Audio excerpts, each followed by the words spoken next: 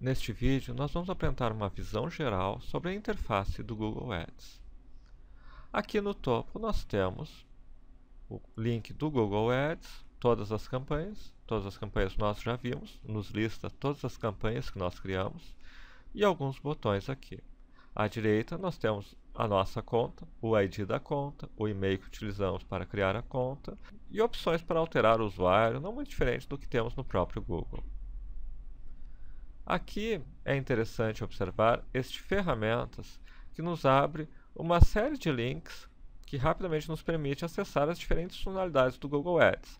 Podemos, por exemplo, fazer as configurações de faturamento e pagamento aqui, além de outros dados da empresa.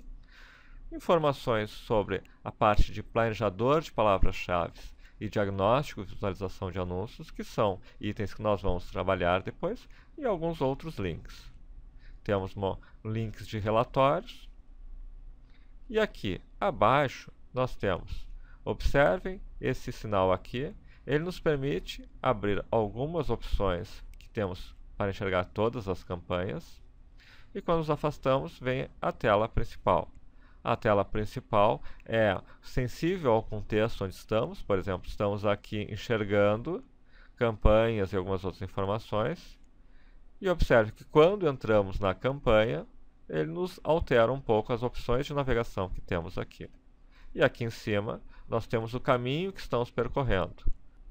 Aqui, por exemplo, nós podemos voltar para todas as campanhas, voltar para a campanha que escolhemos, e estamos aqui no grupo de anúncios celulares. E aqui à direita nós temos efetivamente a estrutura principal onde podemos manipular essas informações. Voltando para todas as campanhas, nós podemos observar aqui que nós temos uma tabela com uma série de informações. O orçamento, o status da campanha, cliques, impressões e outras informações. Depois vamos pegar uma campanha em andamento para olhar em mais detalhes isso. O interessante é observar que em alguns dos itens nós temos uma opção de editar. Por exemplo, se nós quisermos aqui editar o valor, o orçamento da campanha por dia, eu posso vir aqui e modificar. Agora nossa campanha, campanha acesso para pesquisa, vai gastar R$ 1,50 por dia. Temos a opção de mudar o nome da campanha, etc. E aqui à esquerda, nós temos a opção de ativar ou pausar uma campanha. Então, por exemplo, nós podemos ter várias campanhas em andamento. Em determinado momento, nós podemos simplesmente pausar uma delas, reativar mais adiante, conforme nossa estratégia em si.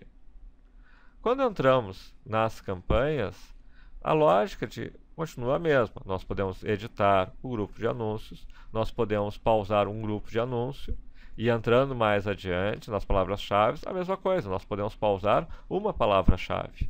Em geral, todas as ações que nós podemos fazer, muitas delas, nós podemos trabalhar no nível do, da palavra-chave, do grupo de anúncios ou da própria campanha. Nós podemos, por exemplo, editar o orçamento da campanha, podemos editar o CPC de um grupo de anúncios, ou seja, bom, eu quero pagar 90 centavos para cada anúncio no grupo de anúncios celulares.